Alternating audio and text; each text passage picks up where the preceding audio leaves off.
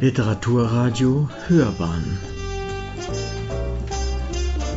Abseits vom Mainstream. Literaturradio Hörbahn, die Rezension. Erebus von Michael Palin, erschienen im Mare Verlag. Wir schreiben das Jahr 1845. Zwei Schiffe machen sich in England auf den Weg, die letzte offene Frage der Seefahrt zu klären und im arktischen Eis den verborgenen Weg durch die legendäre Nordwestpassage zu finden. 134 Seeleute folgen dem Oberbefehl von Sir John Franklin, dem nicht unumstrittenen Konteradmiral und Polarforscher. Er war nicht die erste Wahl für das Kommando dieser Expedition. Er galt als zu alt, viel zu behäbig und konnte nicht viele Erfolge vorweisen. Es war nur seiner Frau Jane Griffin, Lady Franklin, zu verdanken, dass man ihn mit der Führung der prestigeträchtigen und kostspieligen Aufgabe betraute. Sie hatte alle Hebel in Bewegung gesetzt, ihr Netzwerk aktiviert und ihren Einfluss geltend gemacht, um ihren Mann unsterblich zu machen. Unter seinem Kommando stießen die Erebus und die Terror in See gerüstet für eine mehrjährige Expedition, aufwendig umgebaut und für die arktische See perfekt ausgestattet, verließen die beiden Schiffe das britische Greenhithe. Hier beginnt eines der größten und lange Zeit ungeklärten Rätsel der Forschungsgeschichte. Nachrichten blieben aus. Zuerst nicht ungewöhnlich, dann jedoch, nach zwei Jahren, wurde man im Oberkommando der Marine zusehends nervös. Und nicht nur dort. Lady Jane Franklin baute einen unwiderstehlichen Druck auf, endlich nach ihrem Mann und den beiden auf See verschollenen Schiffen zu suchen. Elf Jahre lang dauerte die verzweifelte Suche in der Arktis, bevor erste Spuren und Beweise für das Scheitern der Expedition gefunden wurden.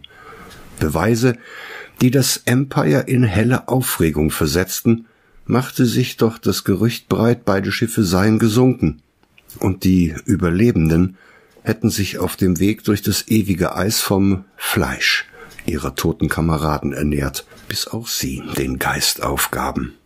Unvereinbar mit den britischen Moralvorstellungen. Bis zum heutigen Tag ist nicht alles geklärt. Bis heute ranken sich Geheimnisse und offene Fragen um das Schicksal der verlorenen Expedition. Spekulationen gehen Hand in Hand mit wissenschaftlichen Erkenntnissen. Es ist schwer, sich einen Überblick über den Stand der Dinge zu verschaffen. Zusammenhänge und Ursachen zu erkennen, fällt schwerer denn je. Genau hier setzt Michael Palin in seinem Buch Erebus an. Genau der Michael Palin, den wir eigentlich von einer ganz anderen Seite kennen. Als Mitglied der Komikergruppe Monty Python erlangte er als Texter und Schauspieler nicht zuletzt durch den Film Das Leben des Brian Weltruhm und Kultstatus. Kaum jemand kennt jedoch seine anderen Facetten. Er ist nicht nur ein renommierter Reiseschriftsteller und ehemaliger Präsident der Royal Geographical Society. Nein, seit 2018 ist er auch ein richtiger Sir, nachdem er von Queen Elizabeth II. zum Ritter geschlagen wurde. Er hat nach seiner beispiellosen Karriere als Komiker einen kaum vorstellbaren Imagewechsel vollzogen und gilt heute als renommierter Autor, Filmemacher und Wissenschaftler. Dieses Buch aus seiner Feder in Händen halten zu dürfen, ist in vielfacher Hinsicht ein echtes literarisches Erlebnis. Der Mare Verlag hat Erebus in jeder Beziehung zu einem absoluten Highlight im Bereich der Sachbuch-Neuerscheinungen gemacht das beginnt schon beim Cover, das als Eyecatcher heraussticht und setzt sich bei Karten, Originalfotos und Zeichnungen fort, die an Bord beider Schiffe entstanden sind. Schon beim ersten Blick auf das Buch stand für mich fest, dass ich die festliche Zeit zwischen den Jahren mit ihm verbringen würde, das Lesen, Zelebrieren. Welches Buch wäre hier besser geeignet? Ich scharrte meine nautische Ausrüstung um mich, legte den Kompass und meinen Sextanten in Reichweite, griff zu meinem Globus und begab mich auf eine Reise, die ich nicht mehr vergessen werde. Die Bilder auf meiner Facebook-Seite und auf Instagram sprachen eine mehr als deutliche Sprache. Und so blieb ich nicht allein. Was aber macht Erebus aus heutiger Sicht zu einem relevanten Thema? Warum zieht die Geschichte zweier verlorener Expeditionsschiffe die ungeteilte Aufmerksamkeit auf sich? Fragen, die ich mir lesend gestellt habe. Ich denke, es ist die Faszination für die großen ungeklärten Fragen unserer Zeit. Es ist das Geheimnis, das die Expedition bis heute zu einem mystischen Akt überhöht, und es sind die menschlichen Abgründe, in die man sich kaum noch hineinversetzen kann, weil uns das Verständnis für diese Zeit verloren gegangen ist. Eine Zeit, in der die Welt noch nicht vermessen war. Eine Zeit, in der Navigation über Leben und Tod entschied. Eine Zeit, in der Forscher bereit waren, ihr Leben aufs Spiel zu setzen, um das Prädikat der Erste für sich beanspruchen zu können. Diese Faszination ist die große Klammer über Erebus, und Michael Palin gelingt es nicht nur, einen Forschungsbericht zu verfassen. Er befreit die beiden Schiffe und die Menschen an Bord von jeder Sachlichkeit, die ein Sachbuch eigentlich zu dem macht, was es sein soll. Palin geht den persönlichen Weg. Er erzählt von den Menschen der Expedition und ihren Beweggründen. Er beleuchtet ihre Stärken und Schwächen. Vom einfachen Maat bis zum Offizier. Niemandem wird die Wertschätzung entzogen. Um uns mit ins Boot zu nehmen, setzt Michael Palin bei einer früheren Reise der beiden Schiffe an. Es ist hier die Antarktis, die erforscht wurde. Es ist eine Reise, von der die Besatzung zurückkehrt und von der sie berichten kann.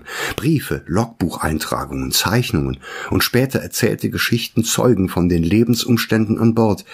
Hier werden einzeln wahrzunehmende Schicksale greifbar. Hier schöpft Michael Palin aus dem Vollen aller verfügbaren Erinnerungen.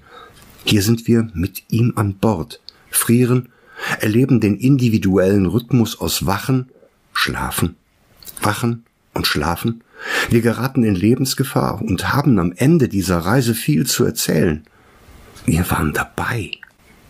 Der Bruch in der Beschreibung der eigentlichen Expedition zur Durchquerung der Nordwestpassage ist brutal.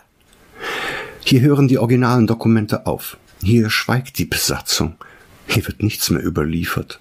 Ruhe, weil niemand zurückkehrte, um vom Scheitern zu berichten. Wir sehen die Porträts der Offiziere, die kurz vor dem Auslaufen aufgenommen wurden. Wir erleben die aufwendige Umrüstung beider Schiffe. Dann wird es dunkel als läge nun der Mantel des Schweigens über 135 Menschen und der Reise in den Untergang. Michael Palin erzeugt ungekünstelt eine schaurige Stimmung, in der wir uns auf Sekundärquellen verlassen müssen. Stimmen aus London. Die verzweifelte Lady Jane und ihre Briefe zeigen das Ausmaß der Katastrophe. Wir ahnen, was beiden Schiffen zugestoßen sein muss. Wir begleiten die Suchmannschaften auf Expeditionen zur Rettung der Überlebenden. Wir hören ihre Berichte. Und wir werden zu Zeugen der mündlichen Überlieferungen der Inuit. Sie sind die wohl letzten Zeugen vom Niedergang der Franklin-Expedition. Sie schreiben nichts auf. Sie erzählen es ihren Nachfahren. Ihnen muss man Glauben schenken. Michael Palin erweist der Geschichtserzählung der Ureinwohner die größte Ehre. Sein Buch schließt die Kreise. Aus Spekulation wird Gewissheit und aus Zufallsfunden wird ein Muster. Bis zum Jahr 2010 setzte sich die internationale Suche fort. Was sie zutage fördert, ist im Kontext der Darstellung von Michael Palin nun ein zutiefst persönlicher Akt. Wir stehen vor den wenigen gefundenen Gräbern. Wir sehen die exhumierten Leichen und finden die Ursachen für ihren Untergang. Gerüchte bestätigen sich. Spekulationen werden ins Reich der Fabel verbannt. Nichts ist hier sachlich, nichts neutral. Wir haben das Gefühl, dabei gewesen zu sein. Michael Palin bereist viele Schauplätze seines Berichtes selbst. Er garniert seinen historisch fundierten Bericht mit persönlichen Eindrücken und lässt Emotionen zu. Wir begleiten ihn bis in die Themsemündung und stehen am Anleger, wo Angehörige und auch Lady Jane ihre Männer zum letzten Mal sahen. Wehmut ist Teil dieses Buches. Bei aller Kritik an der Ehefrau des Konteradmirals werden wir jedoch auch zu Zeugen ihrer niemals enden wollenden Suche. Wir erleben eine Frau, die alles versuchte, den Mann ihres Lebens wiederzufinden. Wir erleben die Frau, die am Ende und im Wissen um das Scheitern nichts unversucht lässt die Ehre von John Franklin reinzuwaschen. Sie selbst wird heute noch als Abenteuerin bezeichnet, obwohl sie nie auf See war. Sie war jedoch in jedem Augenblick an Bord der Erebus präsent. Wenn ihr ein Buch sucht, mit dem sich das Lesen zelebrieren lässt, dann kann ich Erebus nur empfehlen. Eine große, in dieser Form bisher unerzählte Geschichte von Abenteuer und Scheitern, aber eben auch eine zutiefst menschliche Geschichte einer großen Tragödie, die bis heute nachwirkt. Reist besser nicht allein. Die Erebus war auch mit ihrem Schwesterschiff der Terror unterwegs. Gemeinsam lässt sich dieses Abenteuer leichter überstehen. Gemeinsames Lesen ist das schönste Lesen. Ich habe die Zeit an Bord genossen, bin aber heilfroh überlebt zu haben, und doch werde ich es wagen, wieder an Bord zu gehen.